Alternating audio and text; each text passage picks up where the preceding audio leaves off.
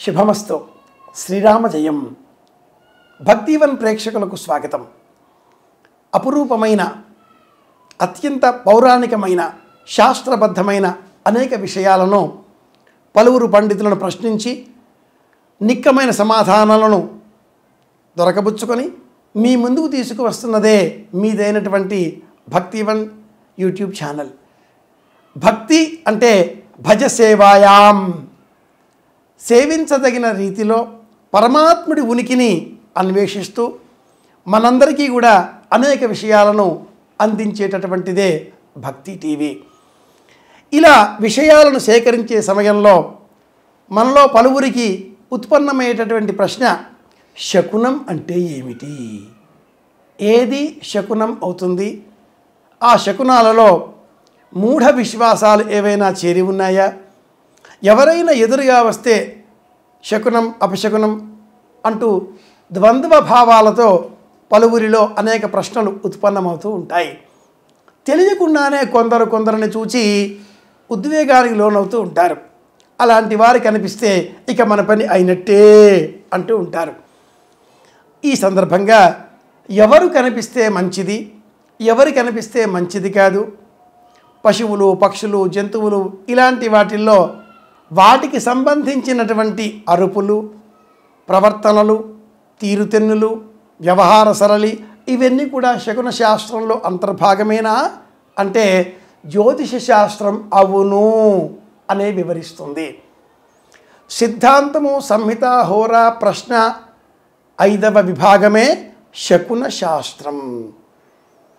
వివాహంలో పెండ్లి కొడుకు వేదిక మీదికి వచ్చే సమయంలో అనుహవమితి శాకునాది మంత్రాన్ వాచయన్ అంటూ పండితులు అనుహవం పరిహవం పరివాదం పరిక్షపం దుస్వప్నం దురుదితం తద్విషభ్యో దిశామ్యహం ఇలాంటి మంత్రాలను పఠిస్తూ ఉంటారు.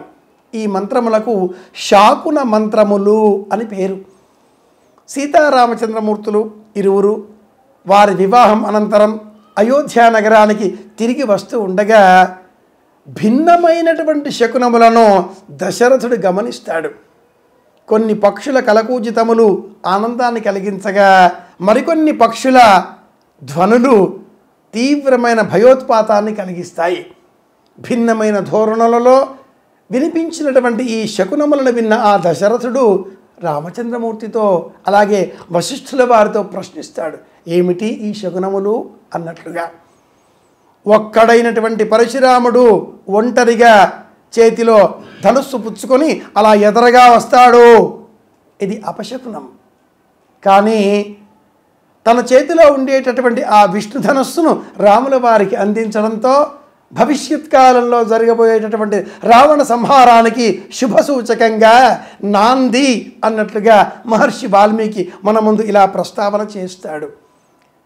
జ్వాజ్వల్యమానంగా వెలుగుతూ ఉండేటటువంటి అగ్నిహోత్రం మన ముందు ఎలా ఎదురుగా రావడం శకునం. కానీ మంట లేకుండా కేవలం నిప్పుతో పొగ ఎదురుగా రావడం కొరివి చేతబుచ్చుకున్నటువంటి దృశ్యం కనిపించడం ఇది అపశకునం. ఈ శకున శాస్త్రం ఎంత సూక్ష్మంగా వివేచన చేస్తుంది అంటే మనందరికీ తెలిసిన అత్యంత సాధారణమైనటువంటి శకునం పిల్లి ఎదురు రావడం. పిల్లి ఎదురుగా వస్తే ఏమవుతుందో అంటూ ఉంటారు. ఏమీ కాదులే అనేవాళ్ళు చాలామందే ఉంటారు. అలాంటి వాళ్ళు ఎదురుగా వస్తే ఆ పిల్లికే అపశకునం. పొద్దు పొద్దుని వీడి కనిపించాడు ఏమిట్రా ఈరోజు నాకు ఆహారం దొరుకుతుందా లేదా? అని ఆ పిల్లి ఎంత బాధపడుతుందో ఏమో మరి. శాస్త్రం ప్రకారంగా పిల్లి ఎదురుగా రావడం అపశకునం అని చెప్పేటటువంటి ఈ జ్యోతిర్విజ్ఞానం ఆ పిల్లి ఎడమ నుంచి కుడికి వెళితే అపశకునమని కుడి నుంచి ఎడమకు వస్తే శుభశకునమని వివరిస్తుంది. అలాగే పిల్లి మన కంటపడితే ఆ పిల్లి తన ముందు కాళ్ళని నాలికతో అలా అద్దుకుంటూ ముఖాన్ని తుడుచుకుంటూ అలా కనిపించినట్లయితే అత్యద్భుతమైన శుభ ఫలితమని వివరిస్తుంది. ఒక్క కాకి ఎదురుగా వెళితే అపశకునం కాకుల జంట వెళితే శుభశకునం. ఆ వెళ్ళిన కాకులు అలా తీరుస్తూ ప్రశాంతంగా ఒక చోట కూర్చుని రెక్కలు అల్లార్చుకుంటే ఇది శుభశకునం.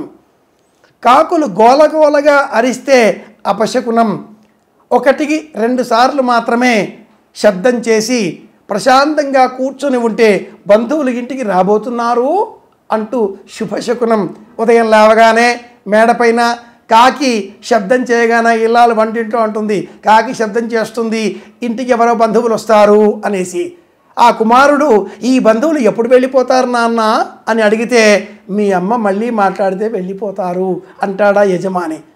ఇలాగా చెప్పుకున్న నవ్వులాటలలో కూడా మనకు శకునాలే వినిపిస్తాయి కనిపిస్తాయి ధ్వనిస్తాయి. మనలో ఉండేటటువంటి ఆత్మవిశ్వాసాన్ని రెట్టింపు చేసే విధంగా శకునాలను శుభశకునాలుగా మార్చుకునేటటువంటి విజ్ఞానం మనది అయి ఉండాలి. మరీ మూఢంగా మరీ మూర్ఖంగా కాకుండా ఈ శకునాలని మనకు బోధించే సత్యం ఒక్కటే. శకునం మన మనసుకు ఆనందాన్ని ఇస్తే నిర్విఘ్నంగా నిర్వికారంగా ముందుకు వెళ్ళిపోవాలి పని ఆరంభించాలి. ఏదైనా మనసులో లోపం కలిగితే ఈ శకునాలన్నింటికీ కూడా పరిహారం కూడా ఉంది. శకునాలకు పరిహారం ఏమిటి? ఇంటిలోనికి రావాలి కాళ్ళు కడుక్కోవాలి పరమేశ్వరునికి నమస్కారం చేయాలి హర హర మహాదేవ శంభో శంకర అంటూ శివనామ స్మరణ చేయాలి. సర్వమంగళ మాంగళ్యే. శివే సర్వార్థ సాధకే శరణ్యే త్ర్యంబకే దేవి నారాయణి నమోస్తుతే అంటూ ఈ శ్లోకం వస్తే చెప్పాలి. లేని ఎడల ఓం నమ శివాయ అనే పంచాక్షరి మహామంత్రాన్ని మూడు సార్లు చెప్పి ఇంటిలో ఎక్కడో ఒక చోట అలా ప్రశాంతంగా కూర్చొని చిన్న గ్లాసు మంచినీరు త్రాగి తిరిగి బయటికి మన పని నిర్వహించే నిమిత్తమే వెళ్ళినట్లయితే ఆ పని విజయవంతంగా పూర్తి చేసుకోగలుగుతాం. ఏ శకునము మనకు ఇక పైన కీడు కలిగించదు. శాస్త్రబద్ధంగా సంప్రదాయాలను ఆలోచన చేసి అన్వేషణ చేసి సత్యమైన జ్ఞానాన్ని తెలుసుకుందాం. వైజ్ఞానిక భారతాన్ని నిర్మించుకుందాం. మరింత ఆనందంగా మళ్ళీ కలుసుకుందాం. మీ వెంకటరమణయ్య గారి పెద్దబ్బాయి కాకునూరి సూర్యనారాయణమూర్తి. శుభమస్తు.